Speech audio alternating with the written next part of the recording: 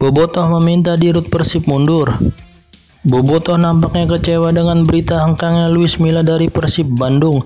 Menurut para Bobotoh, perginya Luis Milla adalah kehilangan terbesar Persib Bandung usai ditinggalkan oleh Roberto Carlos Mario Gomez. Untuk itu Bobotoh justru seolah menggugat Teddy Cahyono untuk segera mundur dari manajemen PT Persib Bandung bermartabat usai Luis Milla resmi mengundurkan diri. Hal tersebut nampak dari komentar para bobotoh di unggahan akun Twitter Persib Bandung Sabtu 15 Juli. Luis Milla menyampaikan apresiasinya untuk semua pihak yang membantunya selama bekerja sama. Cuit Persib sembari menyematkan foto si mantan pelatih dan langsung mendapatkan banyak tanggapan warganet. Banyak di antara bobotoh menyampaikan kecurigaannya terkait intrik di dalam manajemen PT Bandung bermartabat. Makin ke sini makin malas lihat intrik di Persib. Bagi Aing ditinggal Gomez dan Luis Milla adalah dua kehilangan terbesar Persib di era PT Bandung bermartabat. Komentar lain menuliskan, Mila pengennya 23 pemain untuk musim ini, tapi manajemen gak bisa keluarin pemain yang gak diinginkan Mila dan didaftarin tanpa persetujuan Luis Milla. Akhirnya ada kecemburuan antar pemain berujuk nggak kondusif di locker room Persib. Intinya manajemen tidak baik, tulis komentar lainnya. Di Rut Persib buka suara pelatih lokal ikut mundur. Kejutan seakan tak berhenti datang dari sekuat Persib Bandung jelang pekan keempat Liga 1 2023-2024. Usai tiga sosok Spanyol mundur pada akhir pekan lalu, kini gelaran satu pelatih lokal yaitu Bayu Ekasari yang memilih mundur dari Persib.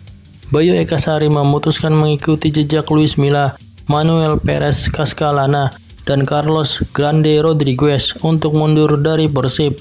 Dengan demikian posisi staf pelatih Persib semakin berkurang dan hanya menyisakan Yaya Sunaria, Luijinho Pasos, dan Imada Wirawan. Sebenarnya pria yang akrab disapa Bang Bes itu sempat diplot untuk membantu Yaya Sunaria sebagai karateka. Hanya saja Bang Bes memiliki keputusan lain. Saya didatangkan ke Persib atas rekomendasi Luis Milla. Atas pertimbangan itu, saya memutuskan untuk mundur juga. Terima kasih untuk manajemen Persib yang telah memberikan kepercayaan, kata Bang Bes. Sementara itu, manajemen Persib menghormati keputusan yang diambil Bang Bes. Meski tergolong sangat singkat, di Rut Persib Bandung, Teddy Cahyono menyampaikan apresiasi dan ucapan terima kasih atas dedikasi Bang Bes selama ini. Kami menghormati keputusan pilihan Bang Bes. Terima kasih atas segalanya dedikasinya selama ini, kata Teddy Cahyono. Persib Bandung pulangkan pemain asal Spanyol. Nasib Tirone Del Pino, pemain asing baru Persib benar-benar tak mujur. Tirone langsung mengalami cedera tendon Achilles pada laga debutnya di Liga 1 2023 saat pertandingan Persib versus Madura United 2 Desember.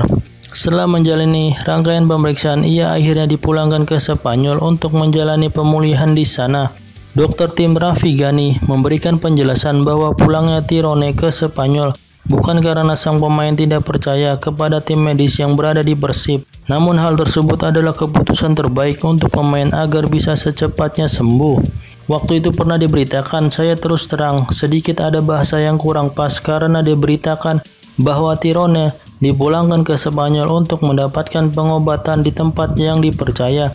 Kata Raffi, kami seolah-olah tidak percaya.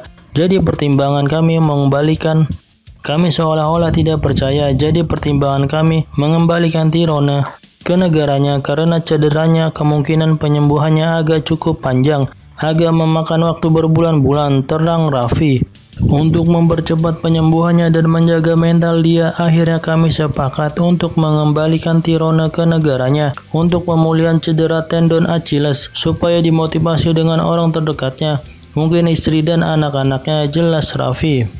Vietnam jawab Pak Hang Seo ke Persib. Nama Pak Hang Seo yang kini berstatus mantan pelatih kepala timnas Vietnam menjadi buah bibir di Indonesia.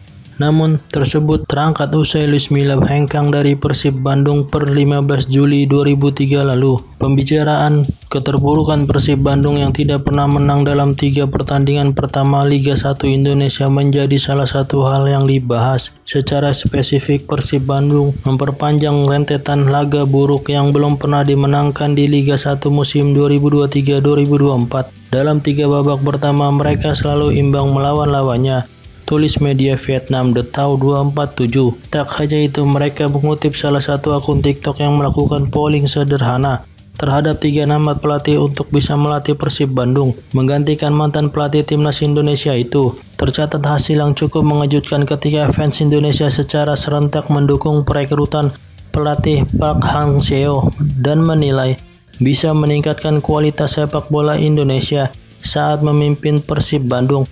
Tulis media Vietnam itu, sosok Park Hang Seo pun kemudian memenuhi pemberitaan media di Indonesia yang memaparkan prestasi pelatih asal Korea Selatan tersebut.